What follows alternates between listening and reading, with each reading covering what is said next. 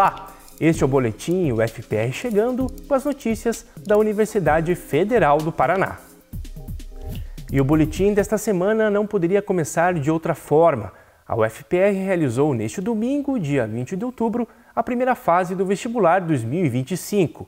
32.152 candidatos inscritos compareceram para fazer a prova em 11 cidades, e um dado positivo desta edição do vestibular foi que o percentual de ausentes diminuiu em relação ao ano anterior.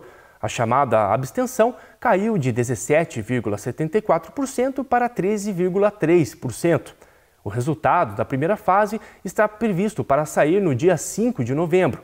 Já as provas da segunda fase têm previsão para acontecer nos dias 1 e 2 de dezembro. Mas, como nem tudo na vida são datas e números, a UFPR TV preparou uma matéria bem especial sobre esse momento tão importante para os futuros estudantes da UFPR, que está disponível no QR Code logo aqui abaixo. Então vai lá e confira.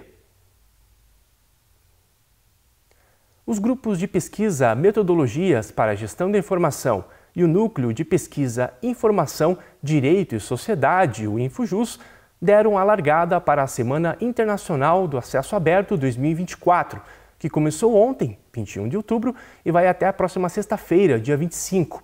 Toda a comunidade acadêmica e externa está convidada para fazer parte do evento, que discute o chamado acesso aberto a partir de uma perspectiva crítica. O acesso aberto é um movimento mundial que começou no final dos anos 90 com a intenção de tornar livre e gratuito o conhecimento científico produzido com recursos públicos. O Programa de Pós-Graduação em Gestão da Informação, o PPGI, também é um dos colaboradores do evento.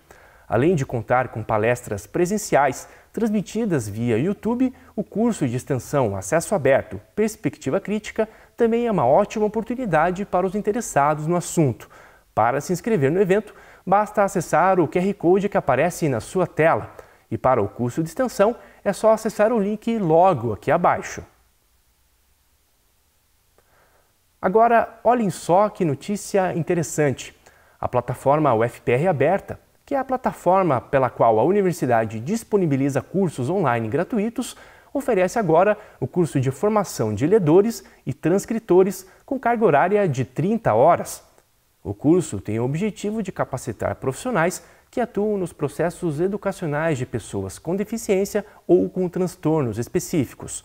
O curso é autoinstrucional, ou seja, não tem tutoria, e é organizado em três módulos de conteúdos que inclui aulas sobre ética profissional, técnica do ledor e do transcritor.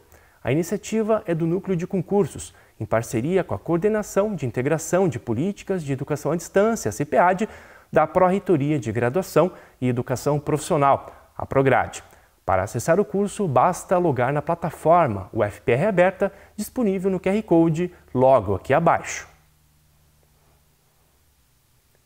E já que esta edição do boletim está repleta de muito estudo e conquistas, olhem só essa notícia. A aluna Yuli Tainá Andrade Oliveira, que é do oitavo período de licenciatura em Letras Português, é a primeira estudante da UFPR aprovada no programa Caminhos Americanos, que é um intercâmbio destinado a estudantes de licenciatura e professores da educação básica quilombola ou autodeclarados pretos ou pardos, que já está na sua segunda edição. E a Yuli embarca no dia 2 de dezembro para Cabo Verde, país insular que fica no extremo oeste da África. Durante 15 dias, o intercâmbio vai acontecer no Centro Universitário Cabo Verde, que fica na capital, cidade da praia. Antes de viajar, a Yuli vai participar de um curso preparatório online sobre a história e a cultura de Cabo Verde, que é oferecido a todos os estudantes aprovados no programa. A modalidade também é oferecida para docentes, mas o destino é outro, Bogotá, que é a capital da Colômbia. O objetivo do programa é fomentar a troca de conhecimentos e experiências e políticas públicas voltadas para o combate ao racismo e para a educação das relações étnico-raciais. A iniciativa é promovida pela Coordenação de Aperfeiçoamento de Pessoal de Nível Superior, a CAPES, em parceria com o Ministério da Educação, o MEC, e o Ministério da Igualdade Racial, o MIR. Você pode conferir a matéria completa de Bruna Soares no portal FPR no QR Code logo aqui abaixo.